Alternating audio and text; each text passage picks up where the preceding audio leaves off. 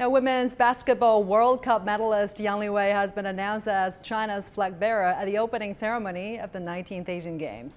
As the captain of women's basketball team, Yang led her teammates to end China's 12-year wait for the Asian Cup victory in July after they took silver in last year's World Cup. CGTN's Cao Bing caught up with Yang at a training center in Guangdong province about her preparations and expectations for the upcoming matches at the Asian Games. How is your condition since the focused training? How is the recovery from injury? Are you feeling good with yourself? Getting better day by day on the path to a faster recovery. There's also a lot of targeted training, hoping to catch up with the team's pace as soon as possible.